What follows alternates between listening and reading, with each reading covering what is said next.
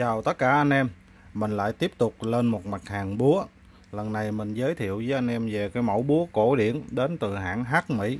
Mẫu búa size 21 à, Một dòng mẫu búa chuyên đóng đinh lớn. Loại này nó nặng 850g nha anh em. Nó thiết kế cái đầu búa cực kỳ cơ bắp và, và, và ngầu.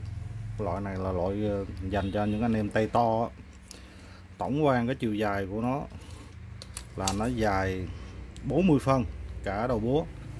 À.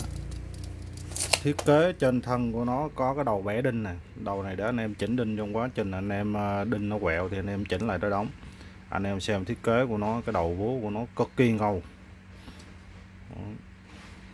Nhìn rất là cơ bắp kiểu Mỹ. Dòng này nó đóng từ đinh lớn cho lên từ từ năm sáu cho lên là, là là rất là ngon vì nó là cái dòng đầu búa to chất liệu thì cũng là mình cán gỗ mang phong cách cổ điển.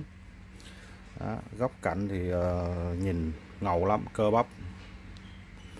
Thì cái mẫu búa đóng đinh ờ, 21 cán gỗ đến từ hãng Hát Mỹ này size 21 này nha anh em. Đó. dòng đầu trơn. Này mình bán với giá là 350 ngàn chưa phí vận chuyển một cây. Thì anh em nào yêu thích cái mẫu búa cổ điển à, đến từ của Mỹ này thì liên hệ bên phía mình.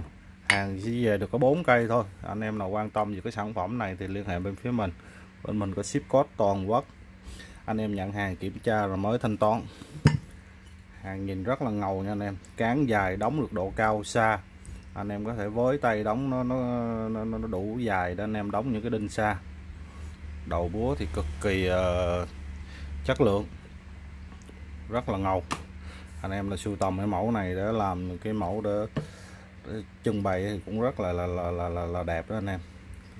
Dòng này mình cũng ít thấy về lắm. Rồi anh em nào quan tâm với sản phẩm này thì liên hệ bên phía mình. Rồi mình xin kết thúc video tại đây. Xin cảm ơn anh em.